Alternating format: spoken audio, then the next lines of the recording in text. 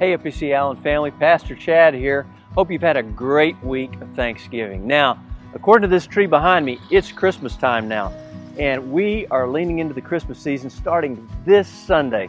So, this Sunday, we're kicking off our new series called Light of the World, and we're going to begin the series looking back to the Old Testament. We're going to visit three key events that took place in the little village of Bethlehem and how God shone a light into a place that would seem overlooked and forgotten. And a big part of that message is He hasn't forgotten you, and He hasn't overlooked you either. I hope you'll be a part of that. Now, we're leaning into some more things. Deck the Halls is Wednesday, 5:30 this next week. That's December the 1st, and that is a good day. Come and volunteer. Uh, we need some help in decorating the church for Christmas. You can be a part of that. I hope that you'd come and help us get ready for that first Sunday of December. So we'll feed you Chick fil A if you'll come, and I look forward to seeing you there. Help us get ready for Christmas. Now, on the first weekend, December the 5th, we have some special things. Sunday morning, we're going to be having a parent child dedication. If that's a good fit for you, contact Nancy Wooldridge and she'll get you signed up for your family. We'll celebrate uh, those new additions to families and that dedication time.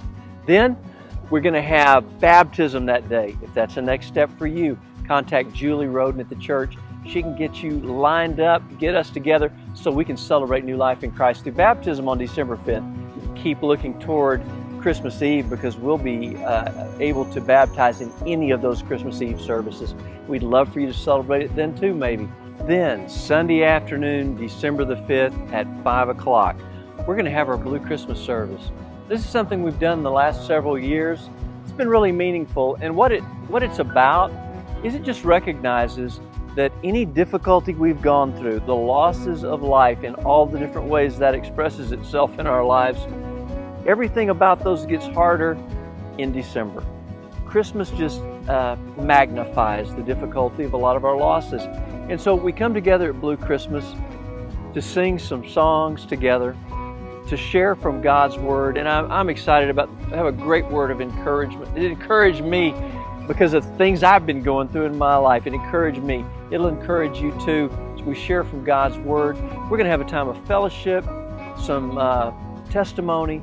It's going to be a great time, about an hour together. Be a part of Blue Christmas. I think you'll be blessed by it. Invite people to come and be with you that you know would benefit from this. It's a pretty informal time, but you'd be blessed. Be a part of Blue Christmas. We look forward to seeing you on Sunday. Have a blessed week between here and there.